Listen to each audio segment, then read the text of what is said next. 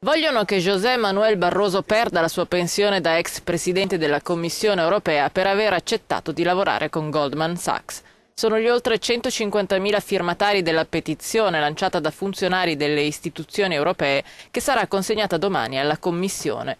La decisione di Barroso è definita nella petizione come un simbolo disastroso per l'Unione e una manna per gli eurofobi. Una seconda petizione lanciata da organizzazioni internazionali ha raccolto 60.000 firme. Il testo elaborato dai dipendenti europei sarà consegnato da funzionari in pensione. Gli autori della petizione infatti sono voluti restare anonimi, così come anonimo è voluto restare uno dei firmatari che ha accettato di commentare ai nostri microfoni.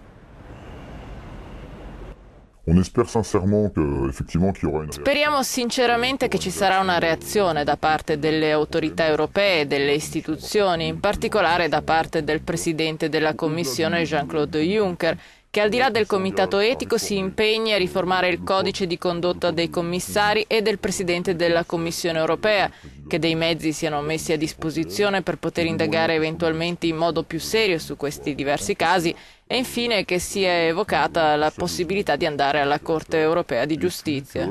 Soit évoquée la possibilité euh, d'aller éventuellement vers, euh, vers la Cour européenne de justice la settimana scorsa gli eurodeputati hanno chiesto misure rafforzate nei confronti di Barroso e di una sua ex commissaria, l'olandese Nelly Cruz, di cui si è scoperto che fino al 2009 è stata direttrice di una società offshore.